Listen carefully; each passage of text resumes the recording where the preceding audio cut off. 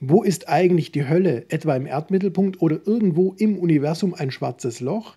Nein, das sind Produkte menschlicher Fantasien oder biblischer Fehlauslegungen. Es gibt in der Bibel keine kosmologische oder geografische oder geologische Ortsangabe zur Hölle.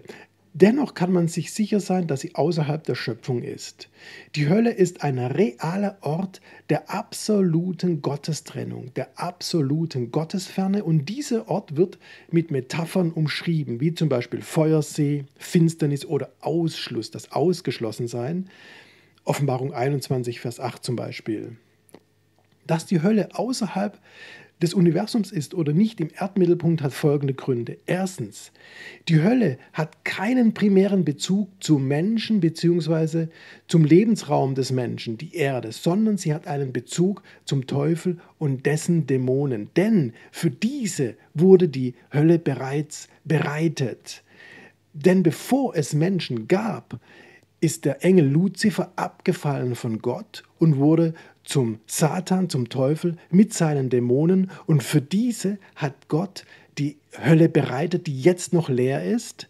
Dass da eines Tages auch Menschen sein werden, ist nur eine Folge des Sündenfalls. Zweitens, die Erde, die jetzige Erde, die jetzige Schöpfung, das Universum wird vergehen. Gott wird die Erde und das Universum beseitigen als Gericht, 2. Petrus 3, Vers 12, und damit würde er auch die Hölle beseitigen, was keinen Sinn macht. Drittens, Gott wird die erste Schöpfung, das heißt die Erde und das Universum, beseitigen und ersetzen mit einer neuen Schöpfung, mit einer neuen Erde und einem neuen Universum.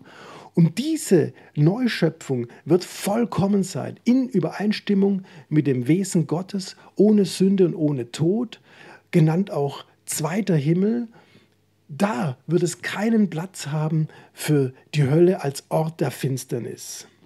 Drittens, die Bibel macht klar, es gibt eine Wirklichkeit, eine Realität außerhalb der Schöpfung. Zum einen den Himmel, das ist der dritte Himmel, das ist der Aufenthalt Gottes außerhalb der Schöpfung und als Gegenstück den Feuersee, genannt Hölle, auch ein realer Ort außerhalb der Schöpfung, Offenbarung 21, Vers 8.